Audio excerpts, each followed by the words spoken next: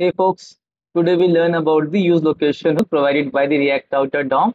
So without any delay, let's get into it. This is a very simple app that I made uh, so that you guys could understand this hook better. So what we'll we try to achieve here is when the user clicks on the details, if this details link or button should be highlighted. When the user clicks on this followers, this followers button should be highlighted and the same thing should happen for this following button. So we'll achieve this now. So let's get to the code.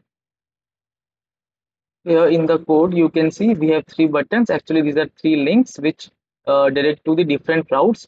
For example, the details button route to the profile route. This uh, followers button will direct to the slash profile slash followers and the following button will direct to the slash profile slash following. Okay. Now, uh, what we are trying to achieve is we want the user to know where he currently is by highlighting that particular button. Okay so let's do it. So in order to do it let's use this use location hook from react router dom. And one more thing if you if uh, some of you guys were wondering what this outlet is this is something that i taught you in uh, nested routing uh, video of mine. So you can watch that video if you want to understand it. If you don't then uh, just understand this. Here this is of like no use no? So you could understand use location without needing to know what this outlet is doing. So yeah let's do it. So what we'll do is this use location provides us with this path name. Okay so this what is this path name? This path name is the current location of the web page no so yeah, so we need to destructure this use location in order to get the path name, no? And you can simply console log this path name to know that where we are. Now let me just console log this thing so that you could understand.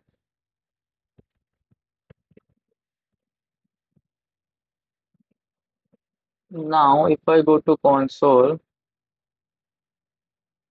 yes, you can see that since we are on the slash profile uh, route you can see slash profile in here. When we are on this followers you can see slash profile slash followers. We can you when i go to the following you can see slash profile slash following. Okay. So we can use this to our advantage. So how we'll do it? Let's see. So okay.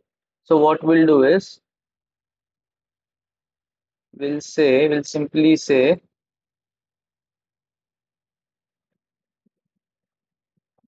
we'll have a class name nav button okay. So yeah. So we'll say if path name is equals to equals to uh, slash profile then do what? This is the conditional operator then do what render this class like um, make use of this class active button else make use of this class nav button which gives us the normal button. And this active button will give will give us the colored button or the highlighted button no? So yeah that's what we'll do. And i make this class very quickly. First let me just make the class name for all of these buttons okay here if the path name is slash profile slash slash followers then uh,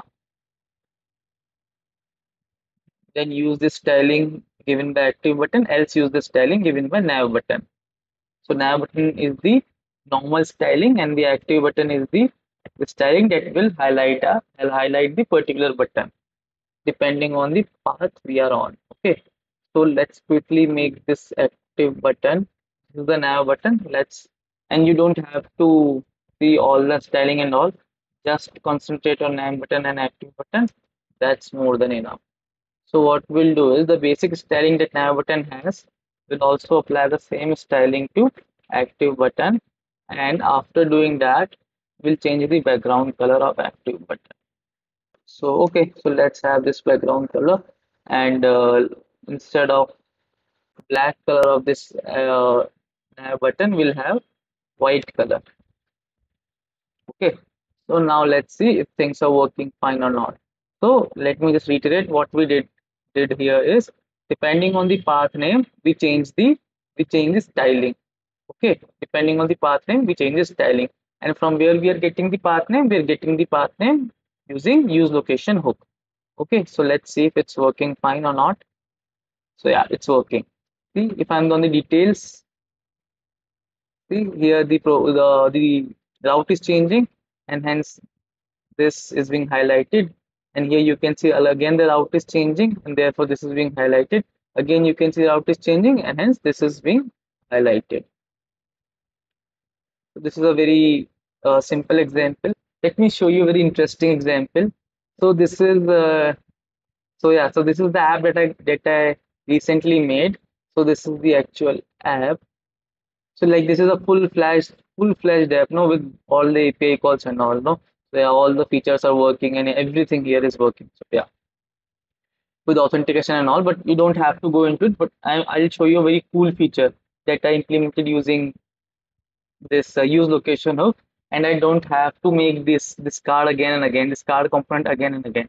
Because what was actually happening know when uh, let's say that I open this video okay and uh, let's say I, op I open this video so these videos that I that I'm opening will go to the history page now in the history page I'm I'm using this these same cards this this same component this same card but you can see when I hover over these cards, we have three options watch later, add to like, and add to playlist. Okay, we got three features.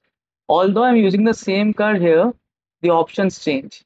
It says watch later, add to like, add to playlist, and remove from history. This additional option is being added. So, how I did it, let me show you. It's very easy. So, depending on the location I am on, you can see yeah, this is the video card component.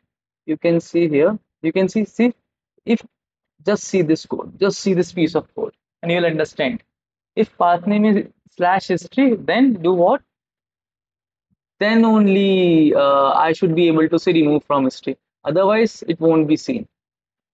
So it's it's cool no? So i did the same thing for playlist and all but yeah you get the gist of it what i am trying to tell you. So these are kind of the cool things that we can do using this use location hook although it's very simple to understand. And uh, one more thing is, as you can see here, yeah, we can use this use location hook uh, to render side effects also based on the location that our user is currently on. Okay. So yeah, see this can be useful if you'd like to perform some side effect whenever the current location changes. So yeah, these are the some of the applications of use location hook. I hope you understand it and if you enjoyed the video and extracted some value from it i really appreciate if you could give a thumbs up and subscribe to my newly made channel so that's all from my side and we'll meet next time